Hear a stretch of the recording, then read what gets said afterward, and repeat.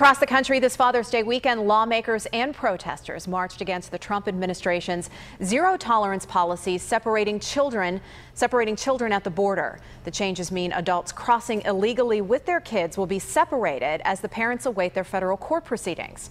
Julie Grant has a closer look at the growing backlash. Hey, hey, Keeping families together, a major focus this Father's Day, as a growing chorus of anger and frustration was on display in parts of the country.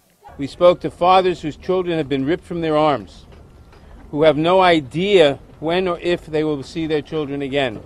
Congressional delegations and immigration advocates marched to facilities where the U.S. government is holding unaccompanied immigrant children. It comes days after Homeland Security confirmed it separated at least 2,000 children from parents at the border. That is no different from a United States citizen parent that is going through a judicial process, prosecuted for violating the law, and separated from his or her children as well. The White House says the goal is to deter illegal border crossings. Democrats want it to end. We are united in going back to Congress and fighting for it.